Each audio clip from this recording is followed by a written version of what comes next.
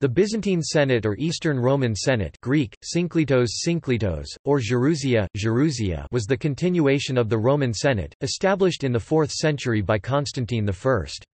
It survived for centuries, but even with its already limited power that it theoretically possessed, the Senate became increasingly irrelevant until its eventual disappearance circa 14th century. The Senate of the Eastern Roman Empire originally consisted of Roman senators who happened to live in the East, or those who wanted to move to Constantinople, and a few other bureaucrats who were appointed to the Senate. Constantine offered free land and grain to any Roman senators who were willing to move to the east. When Constantine founded the Eastern Senate in Byzantium, it initially resembled the councils of important cities like Antioch rather than the Roman Senate.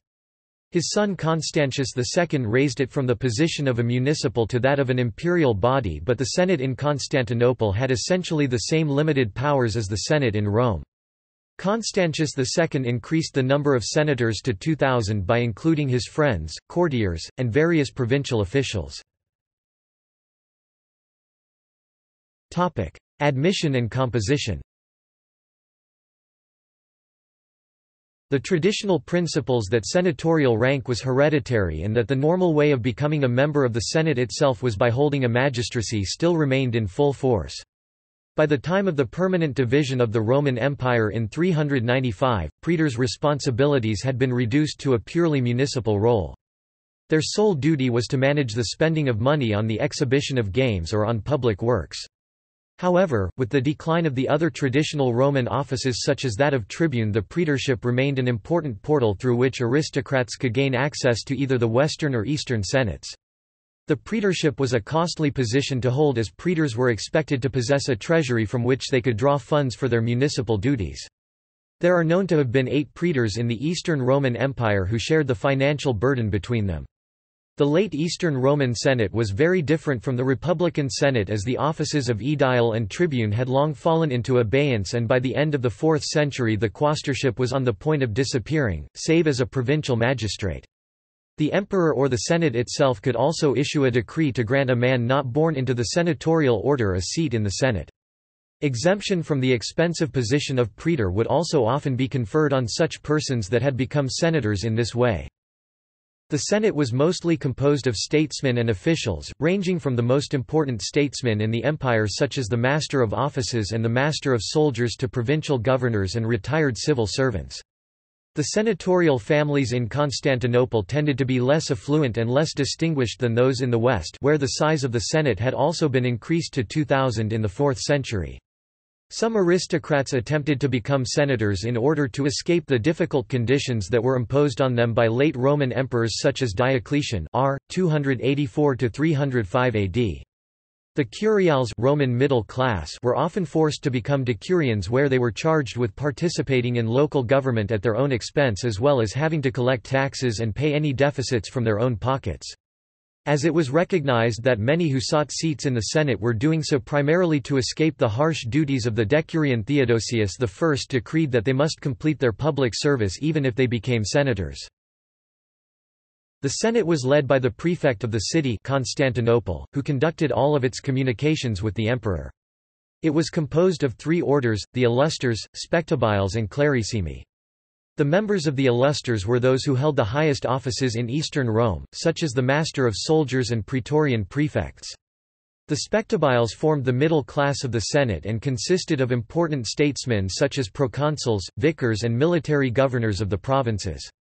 The Clarissimi was the lower class of the Senate and was attached to the governors of the provinces and to other lesser posts. Members of the lower two orders were permitted to live anywhere within the empire and were generally inactive senators. The majority of active members in the Senate were the Illustres, whose important offices were usually based in Constantinople and so were able to attend the Senate frequently. By the end of the 5th century the two lower classes were completely excluded from sitting in the Senate.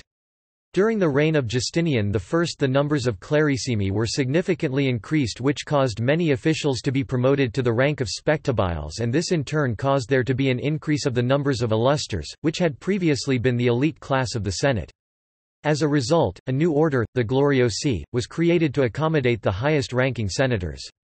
It is important to note that being a senator was generally a secondary career for most of the Senate's members, who usually possessed important positions within the administrative machinery of the empire. Powers and functions Whilst the powers of the Senate were limited, it could pass resolutions senatus consulta which the emperor might adopt and issue in the form of edicts. It could thus suggest imperial legislation, and it acted from time to time as a consultative body. Some imperial laws took the form of orations to the Senate, and were read aloud before the body. The Western Roman Emperor, Valentinian III, in 446, formulated a legislative procedure which granted to the Senate the right of cooperation, where any new law was to be discussed at a meeting between the Senate and the Council before being confirmed by the emperor. This procedure was included in Justinian's code although it is unclear whether it was fully adopted in the East. In addition the emperor would use the Senate as a judicial court, and trials for high treason were sometimes referred to it. Ordinary crimes would also often be judged by a court consisting of the prefect of the city and five senators chosen by lot. The Senate also maintained constitutional significance in that officially emperors were to be chosen by the military and the Senate, although succession was almost always hereditary. Confrontations with the emperor There were incidents when the Senate confronted the emperor and attempted to assert authority on the basis of their constitutional importance regarding the succession of an emperor. In 457 they offered to make the master of soldiers, the Alan Aspar, emperor, but the tribune and senator Leo I, who was Aspar's subordinate, ascended to the throne. In 532, some of the senators gave their support to the Nika rioters against Justinian I, who did not like or trust the wealthy Senate. After 541, the Senate lost many of its members due to a plague pandemic and during the ensuing economic turmoil, Justinian confiscated the wealth of many of the remaining senators. In 608 during the rule of Phocas, Heraclius the Elder and his son Heraclius were declared consuls with the backing of Senate members in Carthage. Heraclius later was elected emperor. Previous Emperor Phocas was deposed by the Senate and arrested in a church by two senators. When Emperor Heraclius died in 641, he left the empire to be ruled by two of his sons, Constantine III from his first marriage with Eudokia and Heraclonas from his second marriage with Martina. The empress demanded imperial power for herself although most likely with intended favor for her son, and declared this in a grand ceremony held in the Hippodrome of Constantinople which was attended by the Senate, other high officials and people of Constantinople. Opinion of the Senate and the people being strongly against her, wanting Heraclius's sons to rule, Martina was forced to return to the great palace of Constantinople in defeat. However, Constantine died only four months later, leaving his half-brother Heraclonas as sole ruler, and rumors of his Martina having assassinated him started to spread. Soon afterwards, a revolt led by general of the army named Valentinus began, and Heraclonas was forced to accept his young nephew Constans II, son of late Constantine, as co-ruler. In an attempt to lower the chances of Constans ruling, Heraclonas named his younger brother David Tiberius as co-ruler too. This, however, did not ease the discontent among the Senate and the people, and soon the Senate deposed Heraclonas. His nose was slit, Martina's tongue cut out and they were exiled to Rhodes. Constans II became sole emperor, under the regency of the Senate. Decline The Senate's power was gradually reduced over the course of history, although it still existed into the 13th century. From the 7th century on, it could be said that it was less of an institution than a class of dignitaries, as many of its remaining powers as a body were removed under legal reforms by the emperors Basil I and Leo VI. The Senate itself retained considerable prestige, especially in the 11th century when the «court party» came to power following the death of Basil II. With the final triumph of the military faction on the accession of Alexius I Comnenus the Senate began to fade into irrelevance and the title of senator could be bought from the emperor.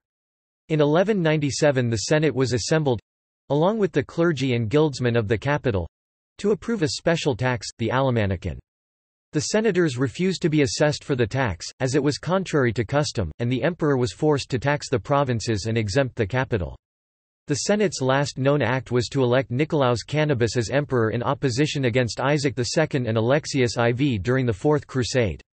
Under the Palaeologus dynasty the title of senator survived for a time, but in the crises of the mid-14th century the ancient office finally vanished for good.